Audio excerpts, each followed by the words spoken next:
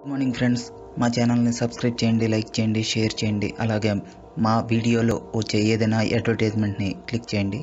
Good morning friends ఇప్పుడు glow worm మినుగురుల గురించి తెలుసుకుందాం. మినుగురు పురుగులు అనేవి చాలా రకాలైన గుడ్డు దశలో లేదా ఆడజాతి పురుగులలో ఉండే స్వయం కాంతి పుంజ లక్షణాలు. ఇవి బయోలూమిసెన్స్ ఆధారంగా వెలుగుతాయి. బయోలూమిసెన్స్ అనగా కాంతిని ఉత్పత్తి చేసి మరియు కాంతిని వెదజల్లే బ్రతికి ఉండే జీవాలు. వీటిలో బ్యాక్టీరియాలు మరియు పురుగులు కూడా ఉన్నాయి. ఇవి వాటి వాటి లక్షణాల ఆధారంగా వేరువేరు రంగుల్లో కాంతిని ప్రసరిస్తూ ఉంటాయి. ఇవి ఆ కాంతిని వేరే జీవాల నుంచి రక్షించుకోవటానికి కమ్యూనికేషన్కు వినియోగించుకుంటాయి. ప్రపంచంలో చాలా చోట్ల ఇవి చీకటి సమయాల్లో వెలుగును విరజిమ్ముతూ పర్యాటక కేంద్రాలుగా మారాయి. వీటిలో కొన్ని మీకోసం. ప్యూర్టోరికో అనే ఐలాండ్. ఇది అమెరికా ఆధీనంలో ఉన్న భూభాగం.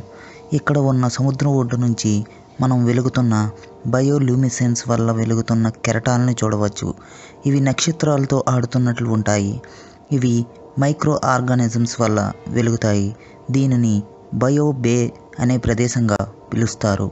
ఈ నీలిరంగులో వెలుగుతాయి. ఈ నీటిని ఎక్కువగా అలజడి సృష్టించినప్పుడు ఇంకా ఎక్కువ కాంతిని ఉత్పత్తి చేస్తాయి. రెండవది మన స్క్వాన్ బీచ్ న్యూజెర్సీ ఇక్కడ ఉండే మైక్రో ఆర్గానిజమ్స్ ఎర్రని కాంతిని ఉత్పత్తి చేసి చివరగా నీలిరంగులోకి మారుతాయి. మనం చూసినప్పుడు ఎర్రటి వెలుగుతున్న కెరటాలు వస్తున్నాయి అన్నట్లుగా కనిపిస్తుంది. ఇవి చూడటానికి వేసవి నెలల్లో చాలా అనువుగా అందంగా కనిపిస్తాయి. Spring brook park Australia. ఇవి సముద్ర కెరటాల్లా కాకుండా మొక్కల రూపంలో ఉంటాయి. ఇవి కూడా నీలిరంగులో అడవి మొత్తం వెలుగుతూ ఉంటాయి. వర్షాకాలంలో అయితే చాలా బాగా పెరుగుతాయి. వర్షాకాల సమయాల్లో ఇవి చూడటానికి చాలా ఎక్కువగా ఉండి అందంగా కనిపిస్తాయి.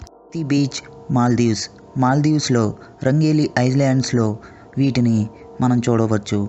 ఇక్కడ ఉండే గ్లోవామ్స్ స్విమ్ చేయటానికి కూడా అనువైనవి. Waitomo caves New Zealand. ఇవి సముద్రంలో కాకుండా గుహలలో పైన వేలాడుతూ ఉంటాయి. గుహలో ఉండే నీటిలో పడవను నెమ్మదిగా తీసుకుని వెళ్తారు. ఇవి సౌండ్ చేసిన వెంటనే కాంతిని వెదజల్లటం మానివేస్తాయి. మళ్ళీ కాసేపటికి కాంతిని ప్రసరిస్తాయి. అందుకే ఇక్కడ నిర్వాహకులు ఎవరిని శబ్దం చేయవద్దని హెచ్చరిస్తారు. మరోది టొయామా బే జపాన్. ఇక్కడ విచిత్రంగా జెల్లీ ఫిష్లు కాంతిని ప్రసరిస్తాయి. రాత్రి సమయాల్లో సముద్ర ఒడ్డుకు కొట్టుకు వస్తున్న నీలికాంతి బల్బుల్లా కనిపిస్తాయి.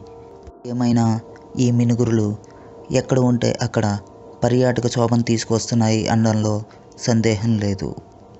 ఇప్పటి శాస్త్రవేత్తలు ఆఫ్రికా వంటి పేద దేశాల్లో వీటిని ఎక్వేరియంస్లో పెంచి రాత్రిపూట వెలుగును ఆ దేశ ప్రజలకు కానుకగా ఇవ్వనున్నారు.